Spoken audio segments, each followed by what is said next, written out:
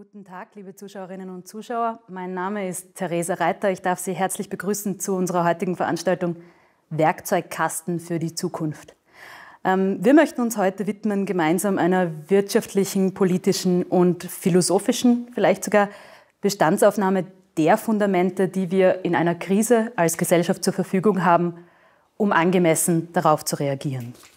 Und äh, dazu begrüße ich heute Andreas Dreichel, den äh, Aufsichtsratsvorsitzenden der Erste Stiftung und den designierten Präsidenten des Europäischen Forum Alpbach.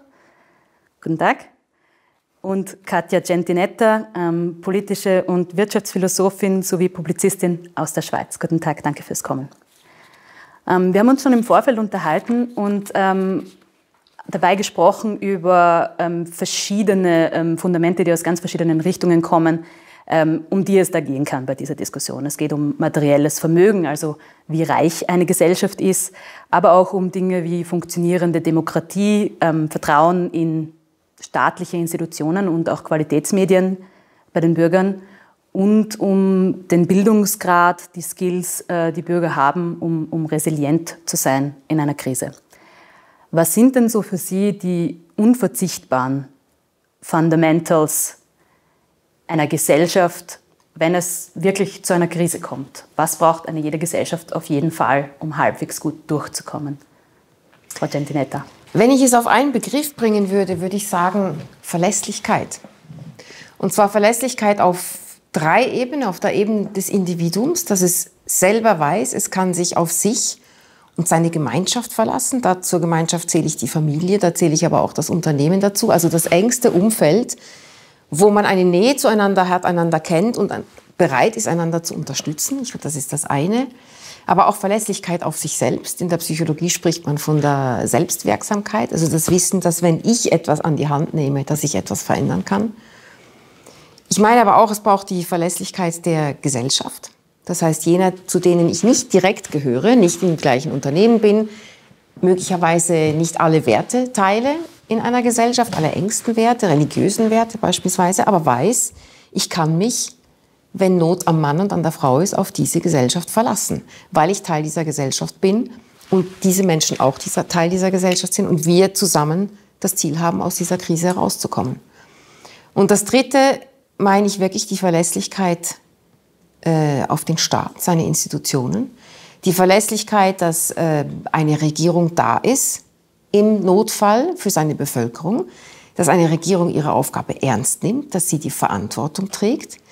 Wir haben jetzt gerade in der letzten Krise, Corona-Krise, die wir bei weitem noch nicht ausgestanden haben, vor allem nicht die Folgen dieser Krise, haben wir sehr gut gesehen, dass es Regierungen gibt, die sich sehr wohl um ihre Bevölkerung kümmern und die Aufgabe sehr ernst nehmen, in einer solchen Krise Richtlinien zu geben, äh, Anweisungen zu geben, Unterstützung zu leisten, Organisationen vorzunehmen und andere Regierungen, die sich genau nicht um ihre Bevölkerung kümmern. Und ich glaube, diese Verlässlichkeit, das ist, ein, das ist ein Gefühl, aber es ist auch eine Realität. Und ich glaube, das ist ganz, ganz wichtig in einer solchen Krise.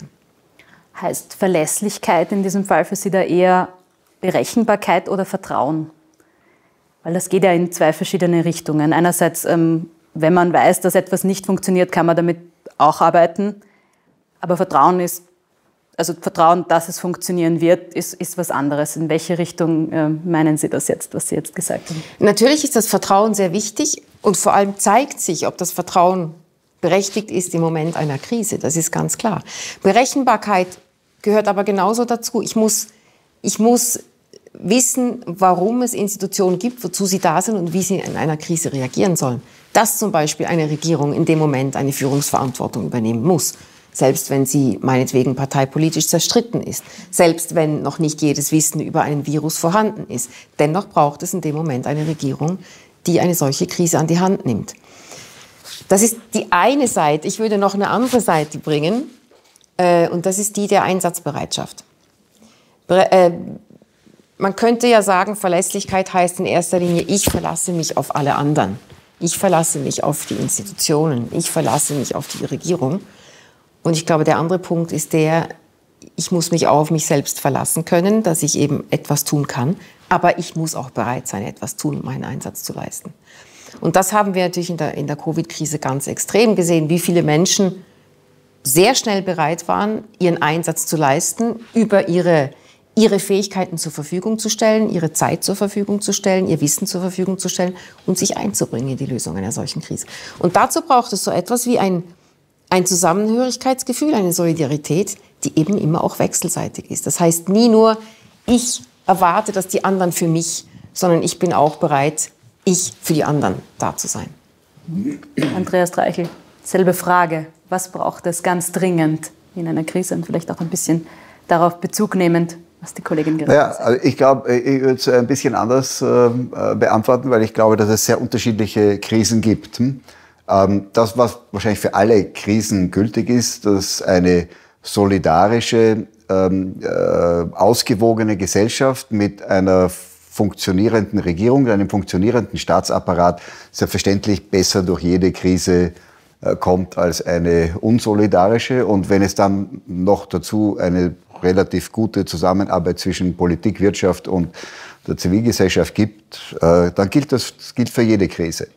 Nur ist das jetzt, glaube ich, schon eine ganz besondere Krise und, und äh, in, in dem Sinn, dass sie ähm, noch mehr Divergenzen in der Gesellschaft hereinbringt als ähm, zum Beispiel die Krise der 20er Jahre oder die Krisen, die wir in Kriegen und nach Kriegen haben, wo es äh, die gesamte Gesellschaft äh, betrifft. Ähm, in einer Krise, wo, wo eben dann quer durch alle Gesellschaftsschichten äh, Menschen ums Leben kommen, wo alle Vermögen verlieren, ähm, von den Reichen bis zu den bis zu den Ärmsten und es eigentlich wenig Unterschiede gibt zwischen äh, den einzelnen Industrieentwicklungen oder Branchen, sondern wo, äh, eigentlich ähm, ähm, ist das wahrscheinlich, äh, das ist ein blödes Wort dafür, aber es ist die unsolidarischste Krise, äh, die ich mir je vorstellen konnte, ähm, weil es ähm, natürlich wieder äh, nicht, nicht in jedem, nicht in jeder Hinsicht,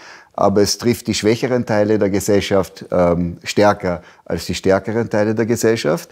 Innerhalb den, der stärkeren Teile der Gesellschaft äh, gibt es ja viele Profiteure von der Krise ähm, und viele, die es massiv trifft.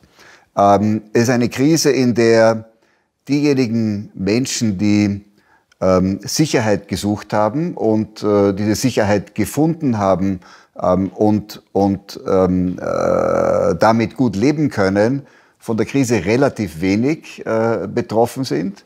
Ähm, die Menschen, die ein Risiko eingegangen sind, ZB in die Selbstständigkeit, ähm, werden sehr stark von der Krise betroffen. Je später sie oder je kürzer sie vor Beginn der Krise damit begonnen haben, desto stärker trifft es sie. Ähm, also es erzeugt ähm, bis daher noch nie, äh, für mich äh, noch nicht vorstellbare Ungerechtigkeiten und, und ähm, äh, widerspricht leider Gottes vielen Prinzipien, die, die ich gerne stärker hätte, vor allem in, in einem Land wie Österreich oder auch in, in, in Europa, wo wir ja, tendenziell ähm, weniger Mut zu Risiko und weniger äh, Zug in die Selbstständigkeit haben als in anderen Kontinenten. Ähm, dazu, dazu, wollte ich jetzt gerade kommen. Also jetzt haben wir das einmal äh, sehr theoretisch äh, quasi beleuchtet. Was, was, was heißt das in der Theorie? Ähm, Sie kommen ja aus zwei verschiedenen Ländern. Ähm, wie, hat, wie, wie, sieht das denn in der Praxis aus? Gibt es eines äh, Ihrer beiden Länder, das vielleicht ähm, einerseits von den, von den Gegebenheiten vor der Krise besser dagestanden ist, um darauf zu reagieren? Und ähm, vielleicht ähm, machen Sie doch bitte auch gleich einen Vergleich im europäischen Umfeld. Äh, sie kommen beide aus Ländern, die tendenziell, denen es eher gut geht. Ähm, aber was hat dann, das heißt ja nicht notwendigerweise, dass alle Fundamente äh, so stimmen, dass es die Idealvoraussetzung war, quasi, wenn es so etwas gibt vor der Krise. Frau Gentinetta. Ja gut, wenn ich in die Schweiz schaue, dann es, kann man sicher sagen, die Regierung hat das ziemlich gut gemeistert. Also natürlich wird es da noch Kritik geben, ob das jetzt nun äh, richtig war, den Lockdown so anzukündigen oder später oder früher damit anzufangen oder länger ihn laufen zu lassen oder weniger. All das wird kommen und all das wird in allen anderen Ländern auch noch kommen, da bin ich ganz sicher. Aber ich glaube, dass dieses Gefühl, sich auf eine Regierung verlassen zu können, die das Heft in die Hand nimmt, das war relativ klar. Das war, das war gut und, und klar. Ähm, die Frage der, der, der Einsatzbereitschaft, um, um das Spiegelbildliche zu nehmen, das war auch sehr stark gegeben, weil man eigentlich sofort gemerkt hat, ähm, wer etwas kann, setzt sich ein. Die, also ich meine, natürlich mussten die Spitäler vorbereiten, die äh, Unternehmen mussten, mussten sich auf diese Situation einrichten. Es gab ein Solidarsystem über die Kurzarbeit, es gab die Sozialhilfe. Das sind alles Systeme, die Institutionen, die da waren und die dann zum Zuge kamen. Und da kam aber noch etwas Drittes dazu und das war meines Erachtens, äh, und das ähm, hast du eben so gut geschildert, war eben wirklich äh, diejenigen, die ganz stark an, an die, ihre Grenzen kamen, waren die Selbstständigen, die Kleinstunternehmer, die eben genau nicht diese großen Puffersysteme hatten. Und da hat die Schweiz eine verlässliche finanzielle Grundlage gehabt, um sagen zu können, wir nehmen jetzt einfach so viel Geld in die Hand, wie es braucht. Sozusagen koste es, was es wolle. Und das, glaube ich, war in dem Fall jetzt ein ganz wichtiger Schritt zum Sagen, wir sind da. Wenn wir schon einen solchen Lockdown verordnen, dann sind wir auch da und helfen auch. Ihr könnt euch auf uns verlassen. Und ich glaube, das war eine ganz, ein ganz wichtiges Signal dieser Verlässlichkeit, das sehr schnell gegeben wurde. Und es hat dann auch sehr schnell mit der Abwicklung funktioniert. Also das war, glaube ich, recht rekordmäßig. Die haben sozusagen über Nacht ein System auf die Beine gestellt, wo das Geld nicht nur gesprochen, sondern wirklich am Bankschalter abgeholt werden konnte. Und das ist sicher eine, das war eine hohe Qualität, muss ich sagen. Wie gesagt, wir werden noch viel sehen, was trotzdem Folgen haben wird, sehr negative Folgen haben wird, aber mal fürs Erste, glaube ich, war das ganz mhm. gut. Mhm. Das kann jetzt ein reiches Land leichter als ein Land, dem es nicht so gut geht. Nachdem ja äh, die Diskussion heißt Werkzeugkasten für die Zukunft, jetzt haben wir sehr viel Bestandsaufnahme bis jetzt gemacht. Ähm, wenn man jetzt davon ausgeht, dass uns in der Zukunft noch sehr unterschiedliche Krisen äh, in Europa äh, treffen werden und die auch Europa an den verschiedenen Ecken und Enden unterschiedlich treffen werden, was können wir denn tun für die Zukunft, dass wir als Europa insgesamt gut durch ähnliche oder andere Krisen kommen, auch wenn manche Länder nicht so reich sind wie Österreich oder die Schweiz. Es wird ja sehr hitzig diskutiert diese Tage in Europa. Was sollen wir denn tun, Herr Treichel? Äh, Zunächst einmal muss man sagen, dass es auf ähm, äh, die, auch diese Krise ist ähm, auf der staatlichen Seite wesentlich weniger differenziert, als sie auf der privaten Seite ist. Also, sehr viel unterschiedlichere Schicksale gibt auf, als Folge dieser Krise. Auf der staatlichen Seite ist es relativ einfach. Ähm, die Staaten, die eine gute, eine gute Infrastruktur aufgebaut haben, inklusive einer sehr guten Gesundheitsinfrastruktur, ohne sich dabei sehr zu verschulden, sind diejenigen, die jetzt gut dastehen. Ähm, die Staaten, die sich nicht verschuldet haben, aber keine gute Infrastruktur aufgebaut haben, stehen nicht so gut da. Und am schlechtesten stehen die Staaten da, die sich verschuldet haben und keine Infrastruktur haben. Ähm, da geht es dann auch wieder um, um, um Nuancen. Also da gibt es auch einen Unterschied zwischen Österreich und der Schweiz. Ähm, ein Unterschied zwischen Deutschland und der Schweiz. Da macht es einen Riesenunterschied, ob ein Staat äh, 30 Prozent Schulden vom Bruttosozialprodukt hat oder 70, 80. Ähm, weil alle, die 70, 80 haben, werden jetzt auf 100 kommen und die eben auf 30, 40 sind, kommen vielleicht auf 60, 65. Das heißt, sind noch immer unter dem Niveau der Staaten, die relativ weit, ähm, äh, weit oben sind. Ähm, bei denen ist, die eben gering verschuldet sind, ist dann die Wahrscheinlichkeit sehr hoch, dass sie nicht wieder zu ihren Bürgern äh, gehen müssen in irgendeiner Form ähm, und ihnen nach der Krise noch eine draufhauen und sagen so und jetzt zahlst du ähm, jetzt zahlst du Steuern. Ähm, äh, das ist bei den Staaten, die höher verschuldet sind, natürlich wesentlich wahrscheinlicher. Das heißt, die Schweiz äh, wird wahrscheinlich äh, sehr, sehr gut diese Krise überstehen, ohne das Steuersystem verändern zu müssen. Das gilt für Dänemark, das gilt für ein paar andere Länder. Ja. Für Europa es ganz klar, ähm, ähm, das sehen wir jetzt auch, wird natürlich sehr gut, was da jetzt passiert ist, kann aber, also die äh, Kapital zur Verfügung stellen, vor allem für die schwächeren Länder, kann dann zu einem Riesenkonflikt führen, wieder über die Verwendung ähm, äh, der Gelder. Also da kann man noch kein Urteil darüber bilden. An und für sich ein sehr positiver Schritt, das erste Mal ähm, in Europa wirklich Kapital zur Verfügung ähm, zu stellen. Aber wenn das dann von den Ländern, die besonders viel Kapital bekommen, ähm, nicht dem entspricht, was Europa gerne tun würde, ähm, äh, damit, dann wird es wieder einen riesen Krach geben. Ja. Jetzt brauche ich nur äh, nach Italien schauen. Dort geht relativ viel Geld hin. Äh, in Süditalien wollen sie damit im Wesentlichen Infrastruktur aufbauen. Im Norden wollen sie damit im Wesentlichen die Wirtschaft ähm, äh, wettbewerbsfähiger machen. Also da wird sogar innerhalb von Italien wird es zu einem gewissen Konflikt kommen und, und natürlich wieder zu, wann immer es dann dazu kommt, wieder ein gefundenes Fressen für äh, die Nationalisten. Also da, da müssen wir noch, hm, äh, da müssen wir noch gut, gut, gut schauen, wie das über die Bühne geht. Mhm. Das, das, das, wollte ich jetzt gerade anmerken, dass also auch was Sie gerade gesagt haben zum Thema höher verschuldete Länder müssen dann ähm, wohl im Endeffekt eh wieder zu ihren Bürgern gehen und nach dieser Zeit, die ohnehin schon schwierig für die Bürger war, es ihnen dann noch einmal schwer machen. Und ähm, da wird es vielleicht nicht allzu viel Verständnis geben äh, überall ähm, dafür. Allein wenn man sich eine, eine, eine Branche hat, wir, alle wissen dass also zwei Branchen, die es dramatisch erwischt hat, ähm, ähm, ist der Tourismus, äh, die Beherbergung und, und die Veranstaltungen, die Veranstalter. Also die Veranstalter sind ja, stehen ja total äh, äh, vor dem Nichts. Äh? Wenn ich mir jetzt äh, zwei Tourismusbetriebe anschaue, die, äh, der eine besteht seit 30 Jahren und hat die Möglichkeit gehabt, Reserven aufzubauen. Und das andere ist ein junges Ehepaar, das ihre ganzen Ersparnisse im Jänner 2020 in einen in einen äh, Gastbetrieb hineingesteckt hat und dann, bumm, sechs Wochen später plötzlich mit null, null Umsatz dasteht. Denen wird dann geholfen. Die, die Reserven aufgebaut haben äh, seit 30 Jahren, wird nicht geholfen.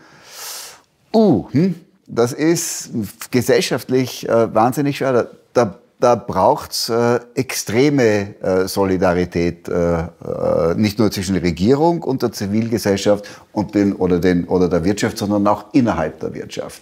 Und das hat sehr viel mit Kommunikation und, und, und, und Verständnis, so wie du es gesagt mhm, hast, mhm. zu tun. Ich glaube, es hat eben äh, wenn ich wieder auf diese Verlässlichkeit zurückkomme, es hat eben auch damit zu tun, dass wir, glaube ich, in einem anderen Maße wieder lernen müssen, uns auch auf uns selbst verlassen zu können und verlassen zu wollen. Ich meine, wenn, wenn ich sehe, dass in der Phase dieses Lockdowns es, ich sage jetzt mal übertrieben, nicht 48 Stunden ging, bis zahlreiche Unternehmen aufgeschrien haben, wo ist der Staat, wie kann er uns helfen? Und ich sage, natürlich soll er helfen, weil er hat ja den Lockdown verordnet. Aber trotzdem würde ich erwarten, dass Unternehmen ein bisschen mehr vorsorgen und irgendwie eine gewisse Zeit überbrücken können, ohne dass sie gleich externe Hilfe brauchen. Und ich glaube, das sind schon so Dinge, über die wir nachdenken müssen, auch in der mittleren Frist, wenn wir sagen, was wir in dieser Krise erlebt haben, war ja, war ja, waren ja totale Gegensätze. Es war ja wirklich der Gegensatz zwischen diesem Vollstopp, den man vorher, by the way, nie für möglich hielt, mhm. dass man die Globalisierung, die Gesellschaft, die Mobilität, zack, anhalten kann auf der einen Seite und wie schnell man sich umstellen kann auf der anderen Seite, wie schnell man davon lernen kann und wie schnell man sich auf das einrichten kann. Und ich glaube, so gesehen ist es ganz wichtig, dass wir auch daraus lernen und sagen, wollen wir jetzt wieder einfach dahin zurück mhm. oder wollen wir aus diesem Paradox, dass wir eben uns so schnell anpassen konnten, etwas lernen und sagen, was daraus können wir in Zukunft besser machen. Und diese Solidarität, diese Verlässlichkeit eben quasi, wie helfen wir einander und wem helfen wir? Helfen wir dem Start-up, aber nicht dem, dem angestammten Betrieb? Darüber müssen wir, glaube ich, wirklich nachdenken. Ab wann und in welcher, auf welche Art und Weise müssen wir auch eine gewisse Selbstvorsorge betreiben und ab wann können wir uns wirklich an die Allgemeinheit wenden und Unterstützung suchen. Mhm. Wenn man jetzt sagt, ähm, wir wählen den Weg, wir möchten was äh, lernen und, und haben, haben schon was gelernt und möchten in Zukunft ähm, so anpassungsfähig wie möglich sein auf die Krisen. Wer wäre da der Erstverantwortliche, ähm, das anzustoßen? Welche Rolle hat da der Staat? Welche Rolle haben da die Privaten? Welches das Individuum vielleicht? Ja, also wenn man über den Staat, über die Staaten äh, reden darf, ähm, gibt es ja in Europa sehr viele Staaten, die das Ganze sehr gut gemanagt haben die sich jetzt auch natürlich sehr, sehr auf die Schulter klopfen, wie toll sie es gemacht haben. Leider in Europa auf einer einzelstaatlichen Basis, was wo ein bisschen Verständnis dafür haben kann, weil natürlich die Welle sehr unterschiedlich nach Europa hineingekommen ist, aber hätte ja auch über die letzten Monate zu ähm, einem, einem zu mehr Gemeinsamkeit führen können. Ähm, und wie das Amen im Gebet werden zahlreiche Staaten kommen, wenn dann der Schaden wirklich offensichtlich ist. Also wir haben einen super Job gemacht. Also wir Politiker waren echt geil. Wir haben euch da hineingegeben, das Geld, das war so super. Nur, also liebe Leute, also jetzt, jetzt wird gezahlt werden dafür. Also da müsst ihr doch Verständnis haben. Also wir haben euch gerettet, wir haben die Wirtschaft gerettet, aber ich meine, wir müssen uns jetzt um unsere Sachen wieder kümmern. Irgendwo müssen wir die Schulden wieder abbauen. Also bum, bum, bum, her, her mit dem Geld. Kein Politiker ähm, wird, und keiner Couleur und in keinem Land wird sagen, ups, hm? ja, also wir, wir haben jetzt alle ähm, in den letzten zehn Jahren massiv von der Globalisierung der Wirtschaft profitiert und zwar massiv. Wir haben höhere Steuereinnahmen gehabt und zwar auf allen Seiten, höhere Einkommen, höhere Körperschaftssteuer, höhere Umsatzsteuer, zack, zack, zack. Die Wirtschaft hat, hat geboomt, Globalisierung war super. Wäre es vielleicht nicht relativ klug gewesen, sich irgendwann mal zu überlegen, wenn der Handel und die Wirtschaft globaler wird, sollte auch das Gesundheitswesen globaler werden? Weil Globalisierung auch gewisse Risiken mit sich bringt. Und haben wir es nicht verabsäumt, ähm, ähm, auf dem Gebiet der Gesundheit ähm, wirklich eine Union zu werden oder vielleicht sogar weltweit äh, wesentliche Fortschritte ähm, äh, zu machen. Entschuldigung, Aber, hm? Verständnisfrage. Heißt das, ähm, Ihrer Meinung nach wäre es klug, Gesundheitspolitik zu einer europäischen Kompetenz zu machen? Ähm, äh, nicht einmal zu einer europäischen Kompetenz, aber ähm, äh, wesentlich mehr Bewegung der Menschen um die Welt führt zu wesentlich höheren Ansteckungsgefahren.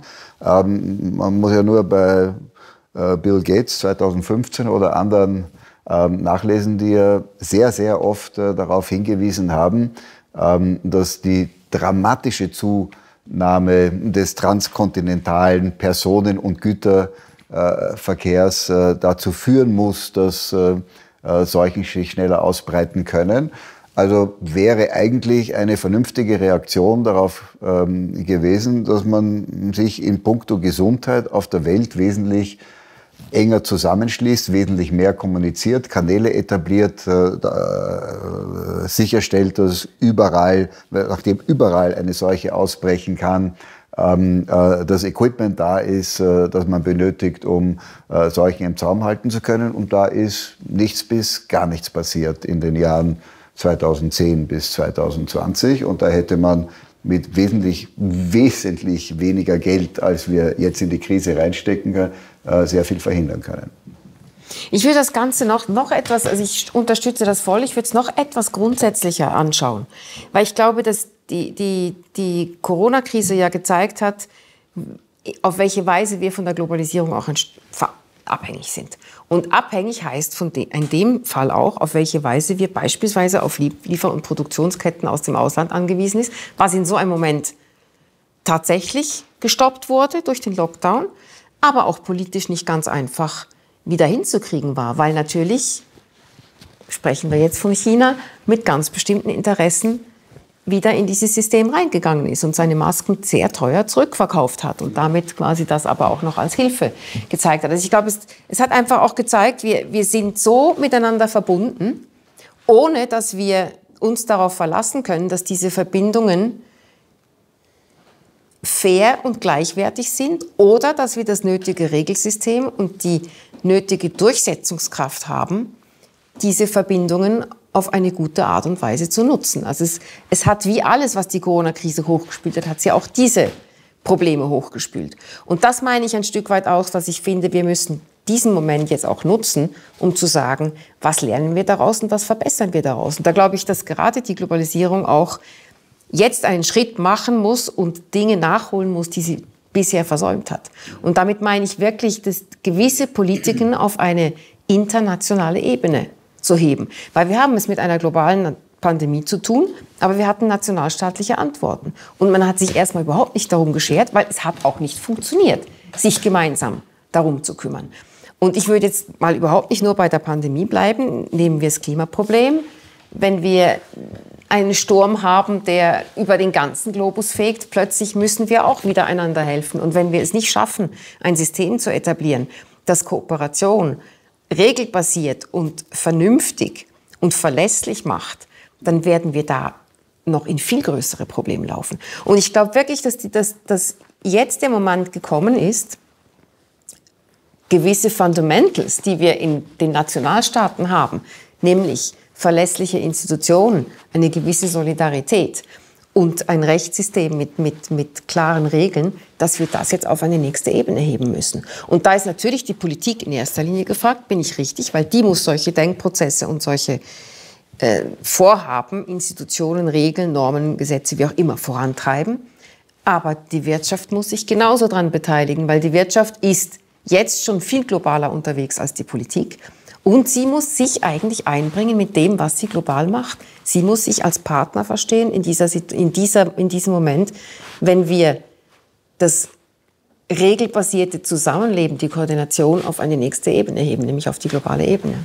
Macht die Wirtschaft das bis jetzt noch nicht, dass sie sich mit dem, was sie äh, global an, an Wissen, an Skills, an Vernetzungen hat, auch am Gesamtinteresse der Gesellschaft äh, beteiligt, äh, solche Situationen zu überleben? Nicht gut genug vielleicht. Also vielleicht, wenn wir jetzt eher von der Klimakrise reden, ist das, glaube ich, ein, ein, ein interessanteres Beispiel in dem Fall. Weil alle sagen immer, es muss gemeinsam laufen und die Wirtschaft muss dabei sein.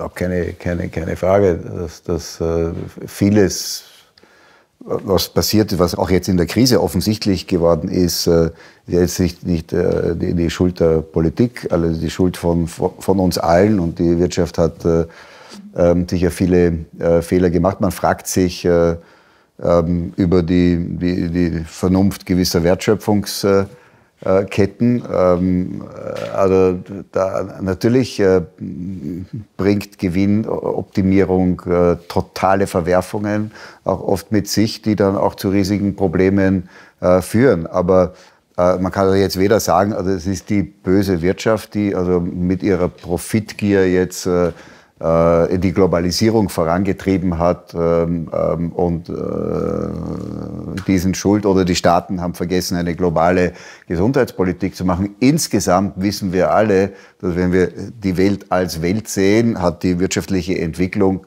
ähm, mit allen Unterschieden, die wir, also je kleiner die Region ist, desto unterschiedlicher, aber weltweit hat es natürlich extrem viel, extrem viel gebracht. Aber ähm, wir haben es verabsäumt, ähm, in den letzten zehn Jahren gemeinsam, Wirtschaft, Politik und uns wirklich ernsthaft damit auseinanderzusetzen, was müssen wir machen, dass diese dramatische Zunahme äh, der Mobilität auf dieser Welt keine ähm, ähm, äh, Krisen mit sich bringt. Und da, das haben wir offensichtlich nicht ernst genug genommen. Ein now Und es ist uns auch völlig klar, äh, dass die die äh, Corona-Krise ja auch etwas mit, mit, mit Umweltschutz zu tun hat. Also wenn wir uns anschauen, was da passiert ist, ist ja klar, dass vieles von dem, ähm, was jetzt äh, viral entsteht, auch dadurch entsteht, dass wir den Tieren ähm, ihren, ihren äh, natürlichen äh, Lebensraum eingeschränkt äh, haben. Ähm, hoffe, dass jetzt diese Krise ein, ein wirklich guter Anstoß äh, dazu ist, dass wir alle Teile der Gesellschaft massiv darüber nachdenken und zumindest in dieser Hinsicht, äh, wir müssen ja nicht bei allem solidarisch sein auf der Welt, aber wenn wir da wirklich zusammenarbeiten würden, wäre schon echt cool. Hm? Also ich wollte überhaupt nicht so verstanden werden wissen, dass ich sage, die Wirtschaft schert sich jetzt nicht darum. Ganz im Gegenteil. Ich glaube, so wie Sie gesagt haben, dass die Politik jetzt nicht einfach sagen kann, wir haben euch gerettet und jetzt kommen wir die Steuern einsammeln und am besten bei den Schwächsten, weil die können sich am wenigsten wehren.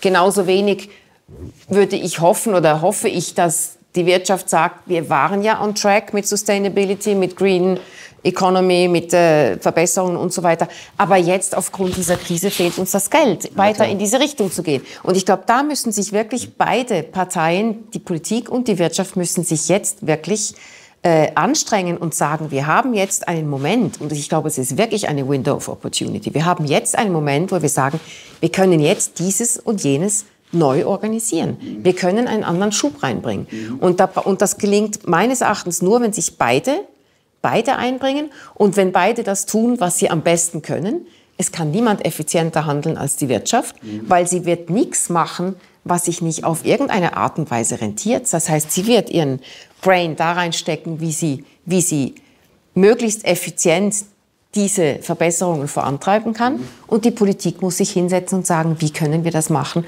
dass es uns allen nützt. Und zwar nicht nur uns Ängsten im eigenen Land, sondern dem Kontinent und letztlich allen und so, dass sich die anderen, die anderen auch profitieren können. Ich glaube, es braucht diese beiden Logiken, die jetzt auf eine ganz, ganz äh, dringliche Art und Weise zusammenarbeiten und einen Schritt weiterkommen. Richtig. Und das geht auch nur, wenn gegenseitige Vorurteile abgebaut werden. Das heißt nicht die blöde Politik und die böse Wirtschaft. Damit kommen wir keinen Schritt weiter. Also was wäre jetzt äh, Ihre Voraussage? Jetzt haben wir sehr viel darüber gesprochen. Das ist die schwerste Frage. Man kann da ja wirklich gut von Hoffnungen und Erwartungen sprechen. Ähm, sagen wir es so, die beiden starken Player auf der Welt derzeit sind USA und China. Und das sind jetzt nicht gerade die Player, die sich äh, am konsensorientiertesten verhalten und einbringen. Und äh, wo jeder seine Schäfchen ins Trockene bringen will. Äh, der gegenwärtige amerikanische Präsident möchte gerne noch einmal wiedergewählt werden und die langfristige, äh, die langfristige äh, Zielformulierung in China deutet, äh, bedeutet, die Autokratie stärker zu verankern als angemessenes Gegenmodell zur Demokratie. Und dazwischen steht Europa, das sich vermutlich, würde ich jetzt mal unterstellen, am stärksten damit auseinandersetzt, wie eine bessere Welt, um diesen banalen Begriff zu brauchen, wie eine bessere Welt nach Corona aussehen müsste. Und da hoffe ich, erwarte ich, und ich glaube, es ist nicht ganz von der Hand zu weisen, dass Europa diese Rolle auch wird wahrnehmen wollen. Wenn es sich wirklich ähm, anstrengt, wir hatten gestern darüber gesprochen im Zusammenhang mit dem globalen Handel. Die Ottawa-Gruppe, alle 27 EU-Länder plus eine gute Handvoll mehr, die tatsächlich wirksame Anstrengungen unternehmen, die WTO auf neue Beine zu stellen. Wenn Sie das machen, nicht nur mit der WTO, sondern mit dem Green Deal, mit äh, demokratischen Prinzipien, dann habe ich durchaus die Hoffnung, wenn man so will, die Erwartung, dass es in eine solche Richtung gehen kann. Bedeutet aber wirklich sehr viel Zusammenstehen. Mhm. Und das ist die große Schwierigkeit. Agree, disagree. Also, ich muss irgendwie disagreeen sehr fad, wenn wir bei allem agreeen. Hm? ähm, äh, ich, bin mir nicht so, ich bin mir nicht so sicher, ob, ob ähm, äh, Europa das schafft, weil ähm, es ja auch in, in Europa unterschiedliche, unterschiedliche Ausrichtungen äh, gibt. Und ich bis jetzt äh, durchaus sind also ein oder zwei Sachen passiert, besonders dieses Finanzierungspaket, das überraschend äh, gekommen ist und, und auch ein starkes Zeichen war. Aber gleichzeitig sehen wir auch sehr viele ähm, Zeichen derzeit, dass es wieder zu einer Entsolidarisierung in Europa äh, kommt. Und äh, für viele, ähm, die kein besonderes Interesse haben an, ein, an einer gemeinschaftlicheren Lösung, ähm, ist natürlich die Situation in Amerika ähm, sehr positiv. Wenn die in Amerika im November wechseln sollte, schaut es dann wieder ähm, vielleicht anders aus. Das, was an der Situation aber jetzt meiner Meinung nach so besonders ärgerlich ist, ist, dass wir durch die äh, völlig unterschiedliche äh, Wirkung der Krise auf einzelne Industriezweige die beiden Staaten, die derzeit und leider, wenn wir in Europa nichts tun, wahrscheinlich noch relativ lange wirtschaftlich und damit auch politisch den Ton an der Welt äh, angeben werden, ähm, auch diejenigen Länder sind, die ähm, am meisten ähm, von dem haben, was von der Krise profitiert und wir in Europa sehr wenig. Hm?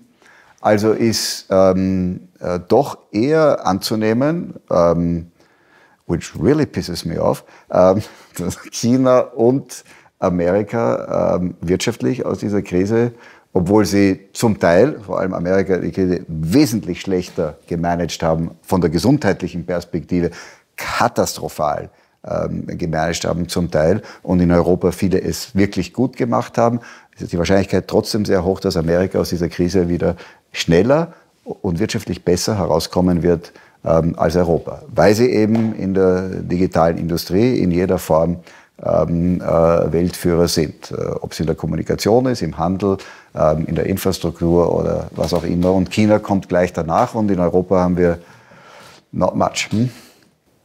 Also man, man kann die Dinge ja immer von zwei Seiten sehen. Äh, man kann die Hoffnung formulieren, dass Europa sich zusammenrauft. Mit dem Finanzierungspaket ist da etwas geschehen, was man so nicht erwartet hat. Das ging dann plötzlich schnell. Äh, es gibt die Erzählung, und die hat durchaus ihre Richtigkeit, dass Europa aus jeder Krise gestärkt herausgegangen ist. Mhm. Und es gibt die Evidenz aus ganz einzelnen Bereichen. Banales Beispiel ist die Altersvorsorge. Die wird immer dann reformiert, wenn das Wasser am Hals steht. Das heißt, die Frage ist, ähm, steht Europa das Wasser genug hoch am Hals, dass es reagiert? Passiert, ähm, fühlt es sich schwach, so schwach, dass es sich sagt, wenn wir und wenn die beiden anderen jetzt wieder stärker aus dieser Krise hervorgeben, ist vielleicht jetzt der Moment gekommen, dass wir uns wirklich zusammenraufen. Auch das ist eine Hoffnung, aber ich glaube, aus diesen beiden Richtungen gesehen ähm, müssen wir alles daran setzen, letztlich ähm, das zu propagieren mhm. und zu erwarten mhm. ja, und ja. mitzudenken und voranzudenken und in diese Richtung zu gehen. Kleine Anekdote, ich ähm, habe mich äh, amüsiert über die Übersetzung der sparsamen Vier. Es gab die sparsamen Vier. In, hier in Alpbach in einem Interview habe ich gelesen, die frugalen Vier. Mhm. Und ich habe dann auch gelesen, die geizigen Vier. Was sind sie nun, oder?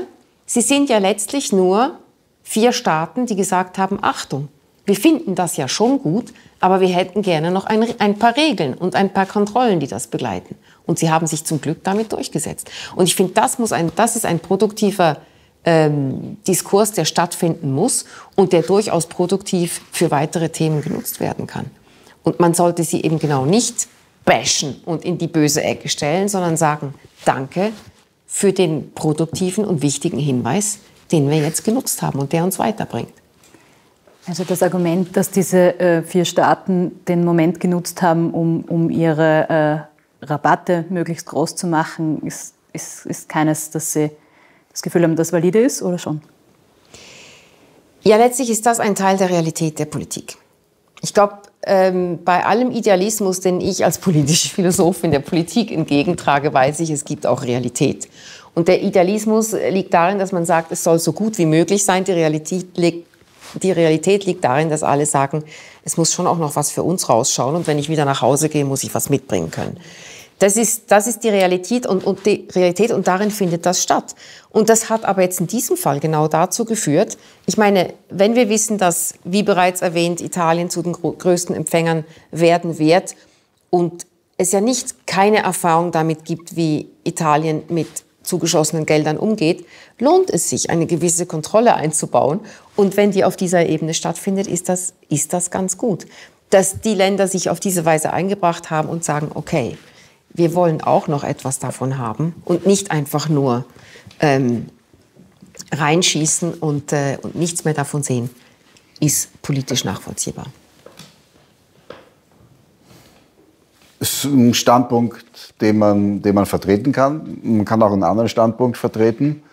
Ähm, aber äh, ich glaube, im, im, Endeffekt ist es eine, äh, zeigt es wieder ähm, einen der, der, problematischen Konflikte ähm, in der EU, ähm, dass natürlich ähm, sehr viele EU-Entscheidungen dazu verwendet werden, um nationalpolitisches Kapital für sich selber herauszuschlagen oder sehr viel an und für sich vernünftige EU-Entscheidungen ähm, in einem Land ähm, äh, oder mehreren Ländern nicht oder Widerstand von der Politik bekommen, obwohl die Politik weiß, eigentlich ist es eine gute Sache, aber es schadet mir bei meinem eigenen Wahlvolk. Hm?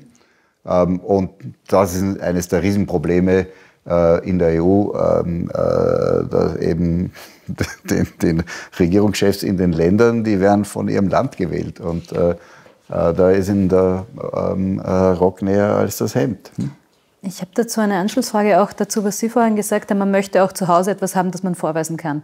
Ist jetzt diese ähm, viel gewünschte und viel gelobte äh, Solidarität auch international nicht genug?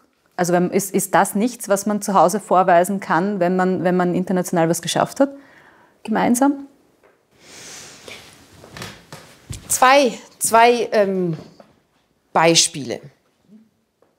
Sozialstaat als Solidarsystem lebt meines Erachtens ganz stark davon, dass jeder und jede darin einzahlt, weil er und sie weiß, wenn es mir einmal schlecht geht, kann ich darauf zurückkommen. Und das hat aber ganz stark, geht ganz stark mit der Erwartung einher, dass alle, die davon profitieren wollen, auch ihren Beitrag dazu leisten. Nun kann das nicht im gleichen Maß passieren, es sind immer nicht, nicht immer alle Voraussetzungen, aber vom Prinzip her, glaube ich, ist das ganz wichtig. Wenn ich als Beispiel dieser, ähm, dieser Geldaufnahme in Europa den Finanzausgleich in der Schweiz bringe, der ja ganz wesentlich ist für den Zusammenhalt dieses Landes. Wir haben 26 Kantone, fast so viele wie Länder in der EU. Wir haben einen ausgeklügelten Finanzausgleich, der sich über 150 Jahre entwickelt hat, äh, der immer wieder reformiert wird und wo sich in etwa so viele Zahler wie Geber gegenüberstehen, wie das in Europa der Fall ist. Aber es gibt natürlich dazu ein Kontrollsystem. Und es gibt ein, ein System, in dem die Zahlerkantone eine Verlässlichkeit haben, dass das überprüft wird und wo sie sagen, wenn wir schon einzahlen, müssen wir auch wissen, was damit wirklich gemacht wird. Und wir wollen nicht einfach à fond perdu irgendwie einzahlen. Und das, ich, es gibt jetzt vielleicht nicht diesen Rabatt, aber natürlich müssen sie in ihren Kantonen sich auch hinstellen können und sagen, wir wissen, dass wir zu den Zahlern gehören, aber wir, ihr könnt euch darauf verlassen, dass das mit richtigen Dingen zu und her geht. Und ich glaube, diese, das meine ich immer mit der wechselseitigen Solidarität und der Verlässlichkeit, die mir so wichtig ist. Ich glaube, wir sind zu oft, äh, glauben wir, dass Solidarität einfach heißt, die Starken helfen den Schwachen. Das ist wichtig. Aber es muss im Grunde genommen eine wechselseitige, ein wechselseitiges Gefühl sein. Sonst steigt die eine Seite irgendwann auf. Und das, glaube ich, ist da eben auch der Fall. Und ähm, in, in dieser Form, wenn's, wenn internationale Solidarität in dieser Form funktionieren würde, dann wäre es auch genug, um es im Nationalstaat zu Hause den Bürgern vorzuwerfen, äh, vorzuzeigen und, und trotzdem Wahlen zu gewinnen. Sind Sie der Meinung? Oder? Weil das war so ein bisschen mein ja. Ausgangspunkt. Ja, das glaube ich schon. Das mhm. glaube ich schon. Aber nochmal, um, um auf das Wort zurückzukommen es existiert ja das Wort Solidargemeinschaft. Mhm. Und Solidargemeinschaft bedeutet, dass es eine Gemeinschaft von Individuen ist, die einander gegenüber wechselseitig solidarisch sind. Und nicht nur die einen für die anderen und nicht umgekehrt. Auch wenn ein Teil davon theoretisch ist, gebe ich zu, und, und richtigerweise theoretisch, weil die einen mehr Unterstützung brauchen als die anderen. Aber vom Grundgedanken her ist, das, ist diese Wechselseitigkeit essentiell um solche Systeme zu bauen und aufrechtzuerhalten. Und ich glaube, das ist das, was Europa echt noch, noch machen muss. Es, diese Solidarität gibt es, dieses Gefühl der wechselseitigen Solidarität gibt es noch nicht. Weil klar ist, dass der Norden den Süden und der Westen den Osten und nicht umgekehrt, oder?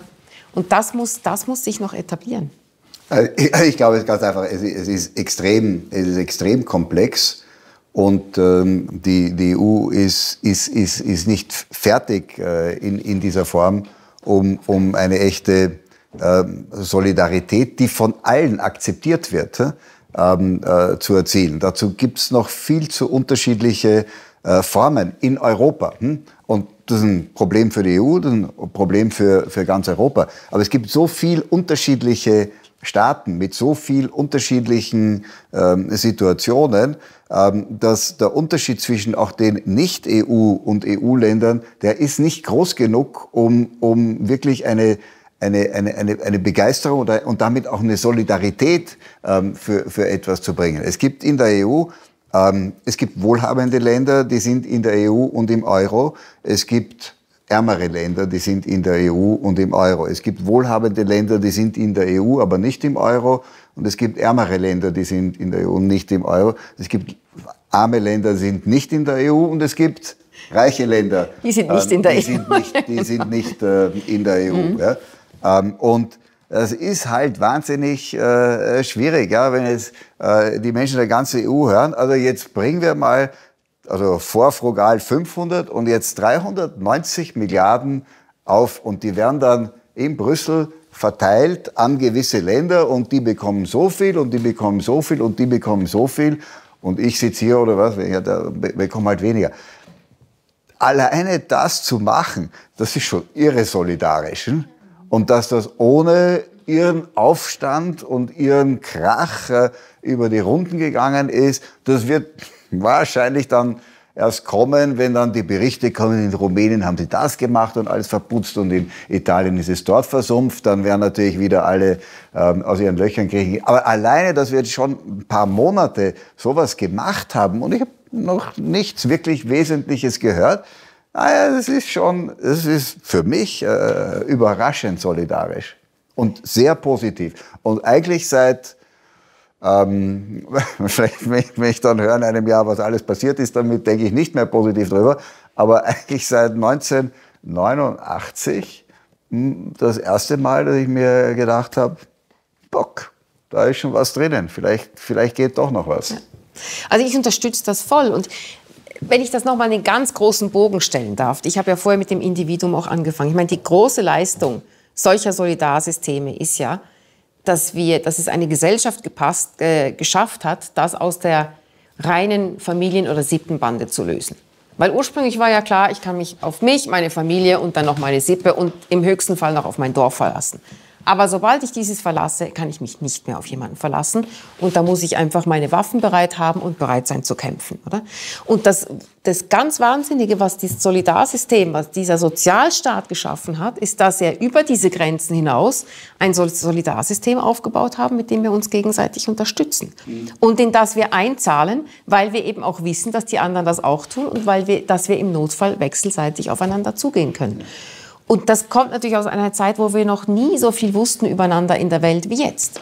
Und deshalb glaube ich, ich sage überhaupt nicht, das wird über Nacht kommen. Für mich ist dieser, dieser, diese Nachkrisen, äh, jetzt in der EU ist für mich auch ein riesiger Meilenstein, weil sie einfach ein, ein, ein Bewusstsein umsetzt in ein Programm, wo man jetzt ökonomisch doch noch drüber streiten kann, sollte man erwirtschaftete Gelder umverteilen oder, oder Schulden und Kredite aufnehmen. Ja. Darüber kann man sehr wohl streiten und ich glaube, da gäbe es noch bessere Lösungen. Aber ja, nu, das ist sie jetzt im Moment nicht. Aber dass man überhaupt so weit gekommen ist, ist schon ein Riesenschritt.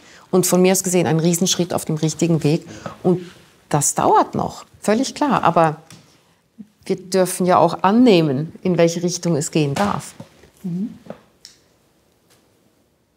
Leider entwickelt sich halt ähm, Wirtschaft und, und Wissenschaft ähm, exponentiell schneller als die, als die Politik. Hm?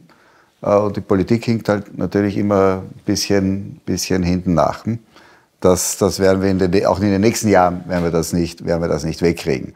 Aber es kommt ja jetzt äh, und, und, und wir haben eh darüber geredet, also der Green Deal steht ja auch in einem Zusammenhang jetzt mit dieser dieser Krise, weil die Krise wahrscheinlich, wenn wir im Green Deal schon wesentlich weiter gekommen wären, wäre es vielleicht gar nicht gegeben. So, jetzt sind wir in Europa in der Situation, dass die EU und, und auch viele Länder sagen, also wir haben jetzt auf der Digitalisierungsseite sind wir hinter die Amerikaner und die Chinesen ins Hintertreffen geraten, auch auf der, bei der Artificial Intelligence. Da haben wir zwar viel Know-how und alles hier, aber das Kapital ähm, dafür sitzt in den anderen Ländern. Und jetzt beim Green Deal, dort werden wir Weltmarktführer werden. Was kriegen wir jetzt klar die Message? Muss man immer wahnsinnig vorsichtig sein, wenn von Brüssel eine Ansage kommt, ähm, wo die Wirtschaft in Europa wettbewerbsfähiger ähm, äh, sein wird.